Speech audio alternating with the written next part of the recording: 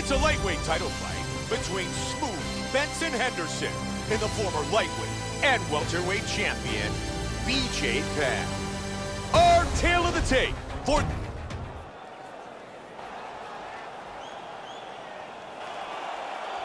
Benson Henderson. You ready? BJ You ready? Penn. Here we go! Fight scheduled for five five-minute rounds.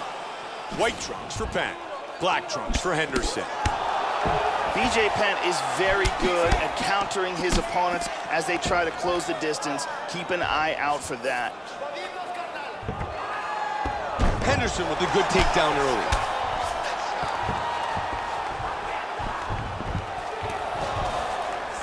And right back to side control.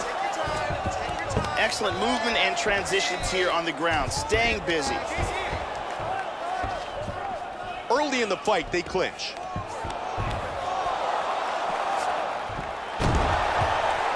That's a deep choke.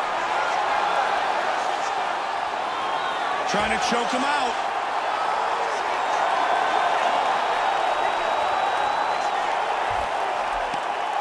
He got him. That's And it. it is all over.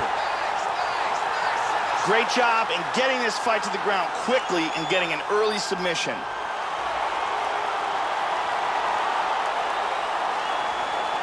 Time now for our fight replay. And here one last time, super tight choke.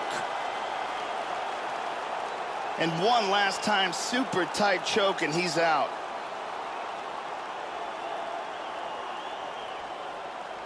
And here we see it again. Beautiful submission victory.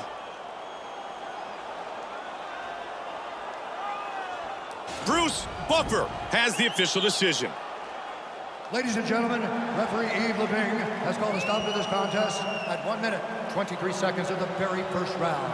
For the winner by submission, and